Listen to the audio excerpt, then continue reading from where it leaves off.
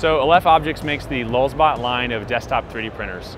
So they're fused filament fabrication, or FFF, machines that print a whole range of different plastics, uh, anything from ABS and PLA to polyesters, nylons, and more.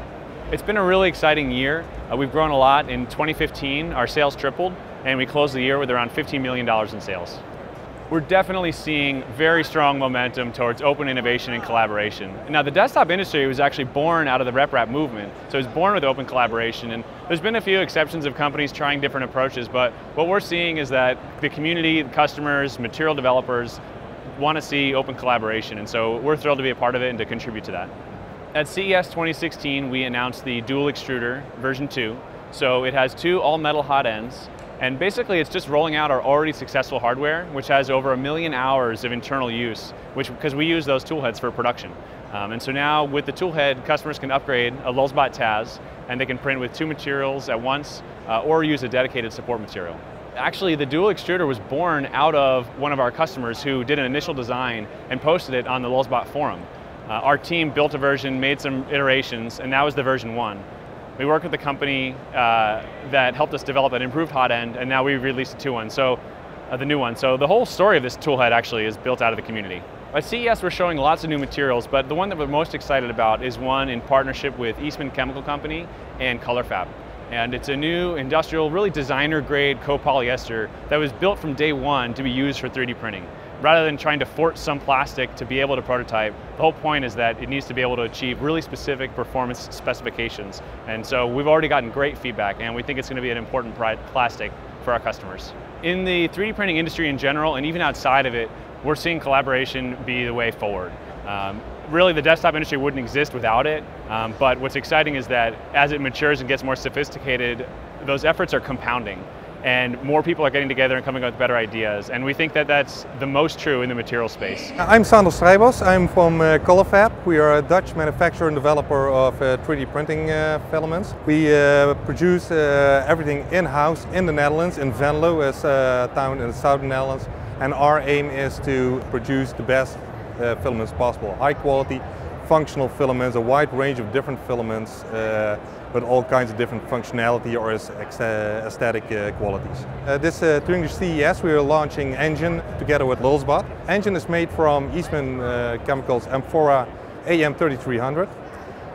that material is specifically designed for 3D printing. It is very melt stable, meaning that from pellet to filament to end product it retains its properties very well. It's a very strong, stiff material. It's a functional material. It has a, a glass temperature of 85 degrees, already doubling that uh, of that of PLA. We see it in a wide range, be it uh, toys, uh, wrap wrapping, at-home use, schools. Uh, people need more functionality in the 3D prints where, uh, who actually don't get the functionality from the standard PLA, they can choose for the nGen material. Well, we see the market moving from the hobby market to business to business.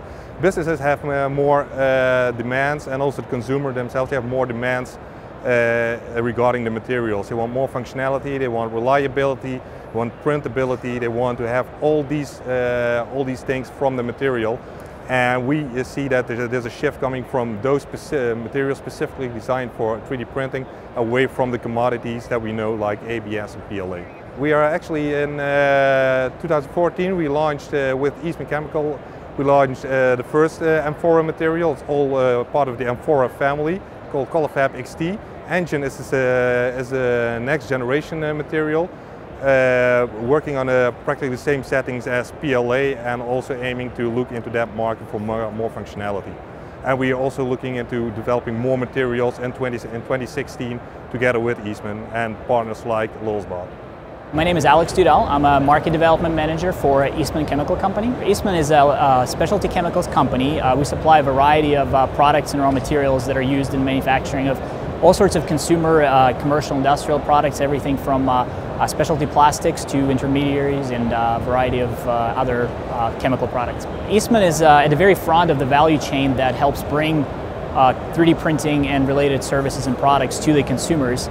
so most of consumers usually interact with companies like 3D printer manufacturers, filament suppliers, distributors, uh, Eastman actually is at the very front of that. We supply the raw material, uh, the plastics that are then used to manufacture the filament uh, that consumers are very well familiar with. Eastman uh, supplies uh, Amphora 3D uh, printing uh, polymers, uh, which is products, materials that are designed specifically for 3D printing.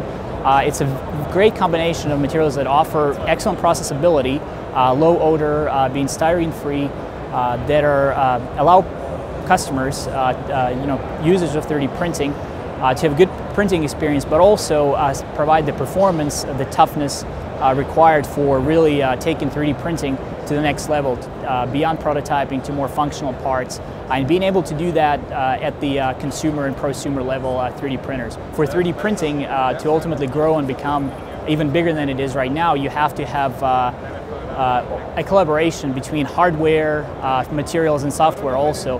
And I think there's been a lot of development on the hardware side. Uh, there's new printers being introduced constantly. There's definitely been a lot of uh, development on the software side. And uh, now uh, you just need the materials that can really help enable to take full advantage of the hardware that's been designed. and that's why we're here to bring the functionality, the performance required to take the hardware uh, to the next level and enable even more applications and enable the growth in this 3D printing market. You know, like I mentioned, the collaboration between different sides and different services uh, in this industry is extremely important.